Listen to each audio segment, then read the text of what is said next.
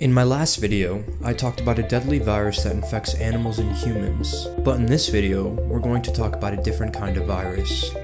Sometime in October 1987, students at Hebrew University of Jerusalem started noticing odd things happening to their computer terminals. Spontaneous disconnections, slower speeds, and files growing in size for no apparent reason. Quite annoying, this wasn't a problem until files became so large they couldn't even be loaded into memory. Some programs even got data corrupted or failed to load altogether. It was eventually discovered by professors and students that this was a computer virus, a relatively new concept at the time. Students and researchers were both intrigued and concerned, but they knew something had to be done and quick. Little did they know, though, the worst was yet to come. It is unknown exactly what happened, but in May of 1988, on Friday the 13th, the virus's payload was executed. Any program being ran that day would get completely deleted off the computer, a devastating blow to the user, but further led to serious real-world implications. The virus execution would go on to occur every subsequent Friday the 13th. Having many names, the virus was most commonly referred to as the Jerusalem virus. It is unknown exactly what individual or individuals created the Jerusalem virus, but it was speculated to be a direct attack towards the Hebrew University. The initial infection was aimed to wipe out the computer banks at the university, but would go on to have other serious real-world implications. Particularly, it was capable of corrupting, deleting, or changing almost any file on an array of different systems, including banking, healthcare, and even military. So how does this virus work? There's a great video I posted in the description showing how the virus works in action. The Jerusalem virus is a file injector and a logic bomb virus. To infect a computer, the virus must be loaded into memory, which at the time happened via floppy disk. Remember those? The virus plants itself somewhere into memory, where it resides, taking up 2 kilobytes in size. There are two files that the Jerusalem virus then goes on to infect, that being COM and EXE files. When you run COM files on an infected computer, the COM file will increase by 1813 bytes, where it is then infected.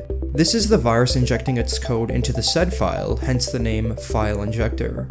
When you run an exe file, the file will increase anywhere from 1808 to 1823 bytes, but there's a catch. Either a bug with the virus or an intentional feature from its creator, the Jerusalem virus will constantly keep reinfecting the said exe file until it is too large to fit into memory itself, which is what students in 1987 experienced.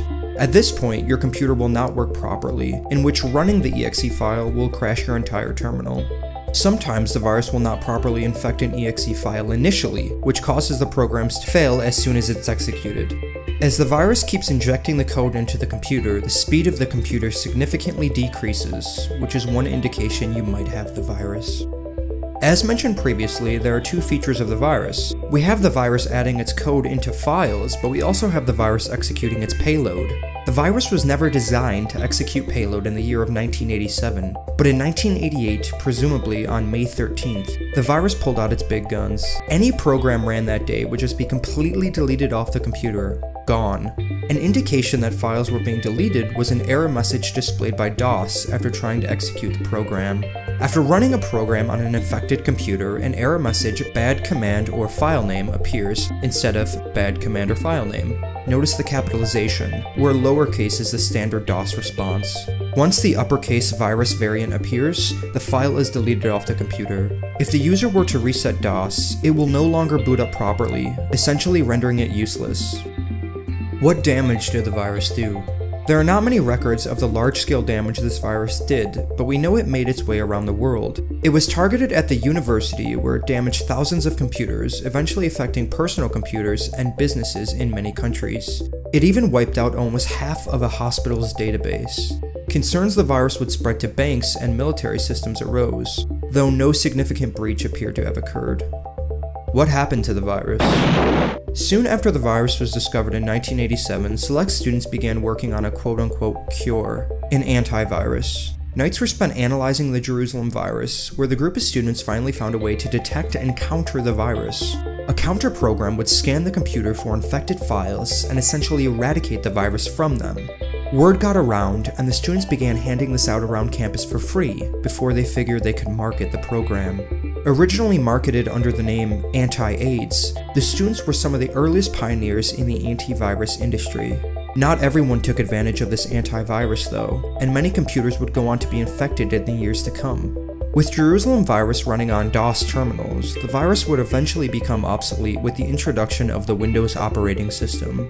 The Jerusalem virus was a pivotal point for the rise of both computer viruses and antivirus software. Though we don't see Jerusalem virus's effect today, the struggle of viruses is a battle we are still fighting. Thank you for watching my video. For more content like this, subscribe to the channel and give me a very large thumbs up. Any suggestions for content, leave me a comment or email me at mt.caveat at gmail.com. Have a great day, guys, and keep your computer healthy.